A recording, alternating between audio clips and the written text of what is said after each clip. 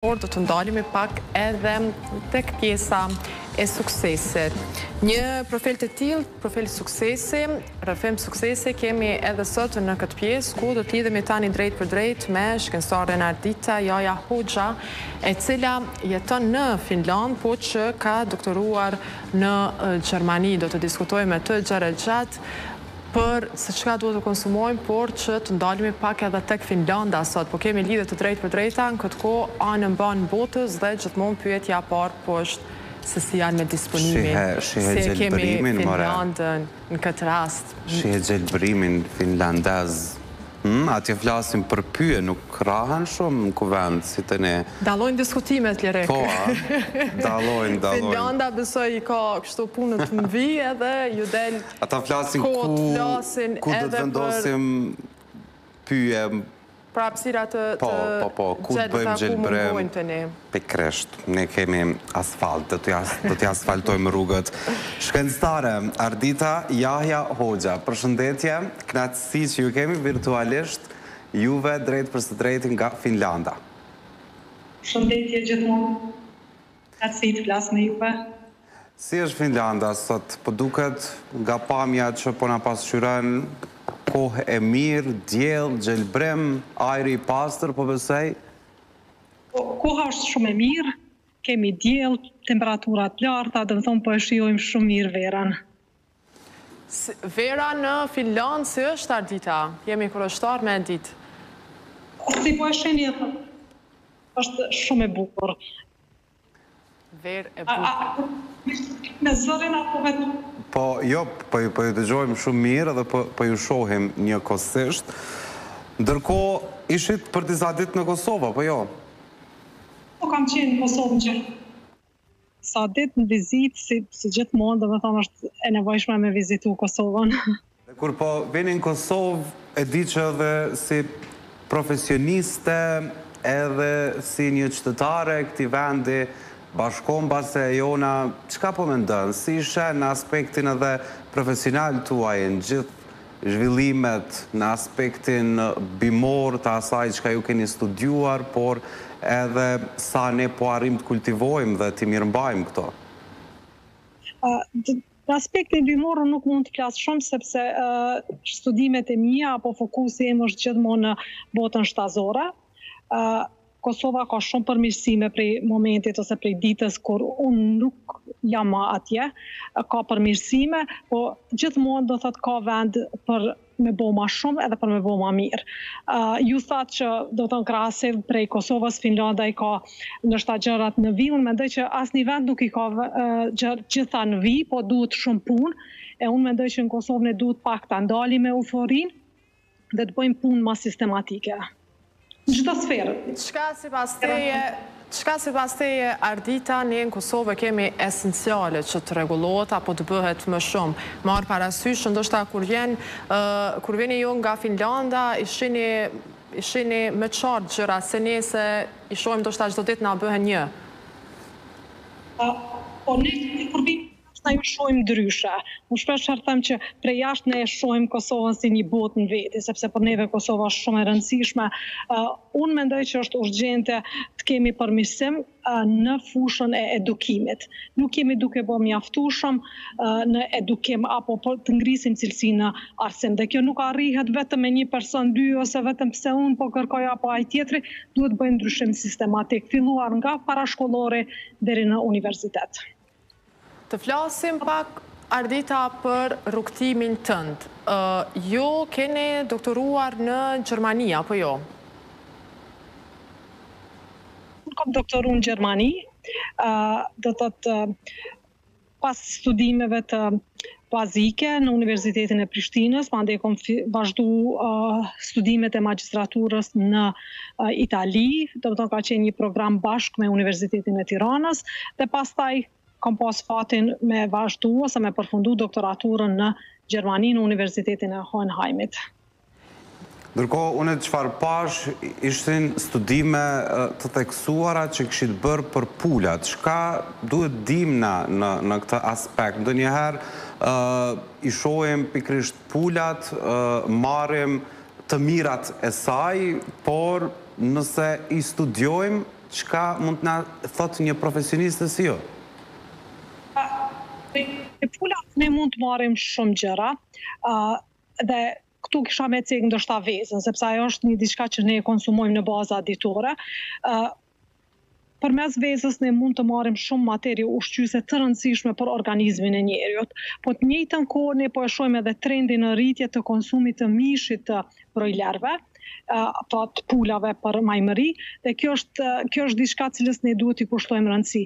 Në Kosovë unë kam vizitu disa ferma të cilat merren me si me prodhim të vezëve, po ashtu edhe me majmëri, dhe më ka gëzu fakti që ka pas shumë, shumë përmirësim edhe kanë bërë shumë gjana, mirëpo në aspektin si shtet, ne duhet të bëjmë ende ma shumë, duhet ma shumë të përkrahim produktet vendore dhe jo vetëm të flasim sepse ok, ne duhet duhet patjetër t'i përkrahim, po duhet të ndihmojmë përmes skemave të ndryshme që të zhvillohen uh, kërkime shkencore, inovacione në mënyrë që produktet tona të jenë të veçanta krahasuar me produktet të cilat ne për shembull i importojmë.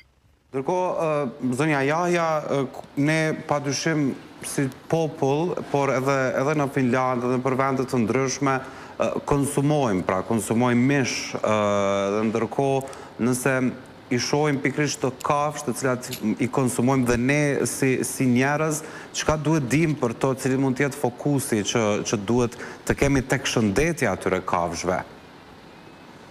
Unë gjithë jetën ia kam kushtu rëndësi shëndetit të kafshëve dhe mirëqenies së kafshëve shpesh herë ne harrojmë se sa është me rëndësi apo se sa lehtë barten sëmundjet prej kafshëve tek njerëzit.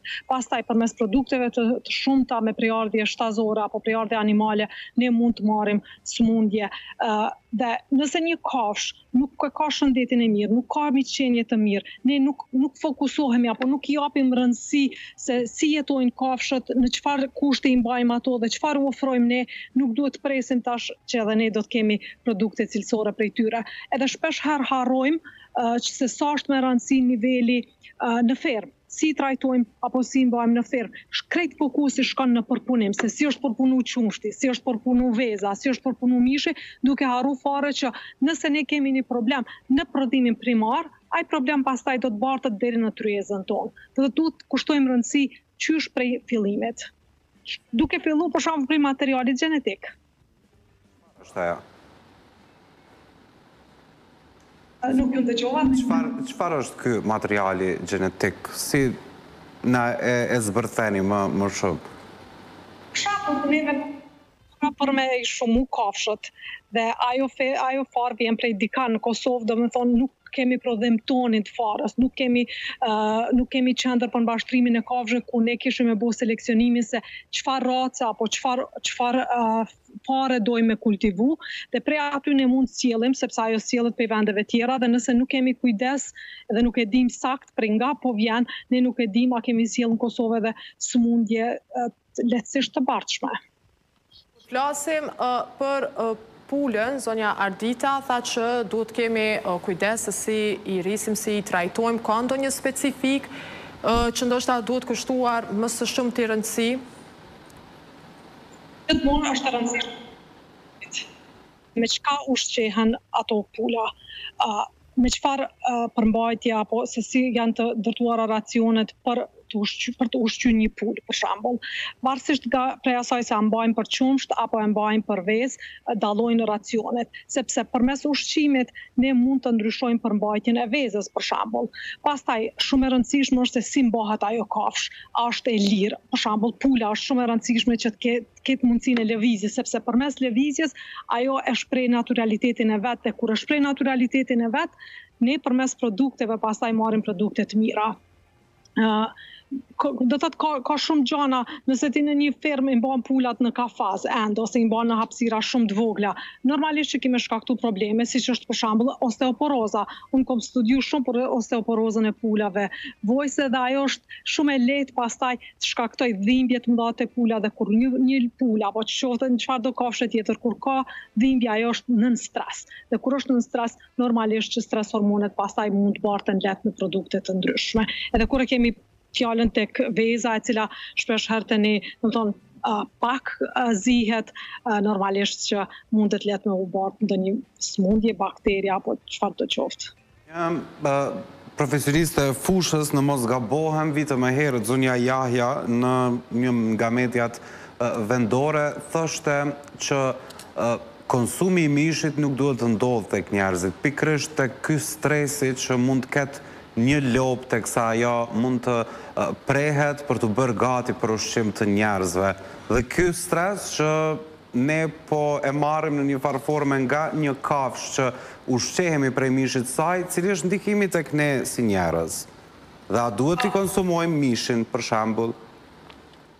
Po, unë mendoj që secili ka të drejtë të konsumojë çfarëdo që e sheh të arsyeshme dhe unë mendoj që është shumë shumë në rregull me konsumu mish, mirëpo në sasira të të kontrolluara dhe të dihet saktë prej nga ka ardh ai mish dhe si është trajtu. Pse e them këtë? Sikurse kam thonë edhe herave të tjera, nëse gjatë therjes ose gjatë mbajtjes ajo kafshë ka pas stres kronik, stres të vazhdueshëm dhe pastaj ne e bëjmë therjen dhe nuk kalon procesi pas therjes, si, si është e standardizuar, duhet kalojnë kohëra, duhet largohet gjaku, nëse kjo nuk bëhet në mënyrë të duhur, atëherë patjetër që përmes produkteve mund të kalojë ky stres hormon edhe tek ne dhe unë besoj që ne nuk kemi nevojë për stres shtesë përmes ushqimit. Interesante kjo, pra stresi që ka përjetu kafsha me tu përcjell edhe ty me anë të ushqimit. Po de se edhe lopa e ndjen ndoshta që diçka do të ndodhë me të ose të paktën i ka sinjalet e veta apo jo zonja Jaja? Po po po po të shumta rreth asaj se si të lexojmë sjelljen e kafshëve, qoftë te lopët qumështore, qoftë tek pulat dhe ekzistojnë protokolet të cilat ne i përcjellim përmes sjelljes së kafshës e kuptojmë nëse ajo ka dhimbje ose sa ma herët që ne mund të detektojmë kur ka ndonjë sëmundje apo dhimbje aq ma shpejt ne e parandalojmë Dhe kjo përveç që i ndihmon kafshës, ekonomikisht ne ndihmojmë edhe fermerin. Për shembull tash unë jam tu punu në një projekt me me robot për me pa se si kishim mujt me detektu sa ma herët smundjen e çalimit tek lopët qumështore, sepse çalimi shkakton shumë dhembje, ulje të prodhimit të qumështit dhe nëse ne arrijmë përmes kamerave termale me zbulu ma herët, sa ma herët sëmundjen, Ne ma herët e parandalojmë dhimbjet, po të njëjtën kohë edhe humbjet ekonomike. Ndërkohë ju, zonja Ardita, keni studiuar në tri shtete. Këtu po lexoj, ke fillimisht pra ke doktoru, siç e thamë, në Gjermani, vite më parë keni qenë hulumtuse në, në universitet në shtetet e bashkuara të Amerikës dhe gjithashtu edhe në Itali. Kush të ka lënë më së shumti përshtypje nga këto tri shtete? Unë unë kam qenë edhe në Japoni për një special. Po edhe ndoshta me me cek Japonin, sepse në Japoni ka ndryshu krejtësisht mënyra e të menduarit rreth asaj çka kom punu edhe çka punoj. Japonia më ka bo një refresh ose ma ka ristartu, kisha me thonë, krejt kuptimin rreth asaj për cilën unë kom studiu me vite të tëra. ndoshta e kisha veçu Japoninë për inovacione, kurse sa i përket uh, kulturës për me punu fort, me punu shumë, mos me u dorzu, kisha me veçu uh, shtetet e bashkuara të Amerikës. Kur përmendet Japonia, Kina, nga ne këtu në Kosovë, si evropian, që mund ta quajmë veten, uh, cilësohet shpesh si shtete ose si qytetarë që hanë gjithçka. Çka rekomandohet që ne të hanë nga pjesa e kafshëve? Ata konsumojnë edhe ushqime të detit, padyshim, por shumë ka zëra që diskutohen për shembull në Kinë që që ushqehen kinezët me çfarëdo lloj ushqimesh. Në shkencë, a mund të konsumojmë ne çfarë të duam, edhe një lakuriq? Jo, Unë s'kisha me preferu që të konsumojmë gjithçka. Ka shumë dallim mënyra e të ushqyerit apo kultura e të ushqyerit në Japoni dhe në Kinë. Unë kam qenë edhe në Kinë, kam qenë kam marrë pjesë në një konferencë botërore për food design. dhe ka dallim shumë kultura japoneze dhe kultura kineze. Uh, unë mendoj që ne nuk duhet konsumojmë gjithçka. Uh, çkado që konsumojmë, çkado që është në kulturën tonë për me u konsumu, duhet të jetë mirë e kontrolluar. Uh, në Kinë ka zingjirë ushqimorë të cilat nuk janë të kontrolluara mjaftueshëm. Ata mundohen me punu dhe me rregullu, por kanë ende shumë punë për të bërë. Do të thotë ka pjesë të cilat ata nuk i kontrollojnë. Mirëpo janë shumë fanatikë Duan se si ushqehen dhe me çka ushqehen. Të la përshtypje kjo pjesë e ushqimit në Kinë, zonja Ardita? Se unë me shku në Kinë, besoj kisha met untë. Kisha ngrënë oriz. Pra e ushqimit apo kulturës ushqimit në Kinë është se ka shumë shumë llojshmëri, mundesh me zgjedhë gjithçka. Dhe mvaret në cilën pjesë të Kinës shkon, unë kam qenë në Shangaj dhe aty do të thotë dallon pak ushqimi prej pjesëve të tjera të Kinës. Mirëpo unë mundem me thanë me plot gojë që në Kinë kom provu edhe kom hangër gjana të cilat ndoshta ma herët nuk, nuk kisha me besu që kisha me i provu, por ajo është një përvojë e mirë edhe domethënë nëse e din se ku po ushqehesh, do të thotë ki ushqim shumë të mirë edhe tu pas parasysh unë kam qenë në konferencë kushtuar ushqimit, do të thotë mundesh me marrë me mend që ka pas vërtet ushqim shumë të mirë sepse është prezentu në fund të fundit dizajni edhe mënyra se si secila pjesë do të thotë mundohet me u përdor në Kinë dhe kjo ndodh kjo kulturë është si pasojë se ka shumë popullsi dhe ata duhet disi të mbijetojnë dhe do të thotë brez pas brezi është bërë që të konsumohet shumica e gjanave, pjesëve atje. Çka provove atje për herë të parë? Provu për herë në kineze, e cila do të thotë uh, shërbehet për uh, për respekt musafirve. Uh, unë para se me shku në Kinë, ose para se të shkoj në një vend tjetër, unë gjithmonë lexoj shumë për atë vend, dhe kom lexu që nëse në fund të ushqimit uh, t'ofrohet supa, domethënë është desert edhe është respekt.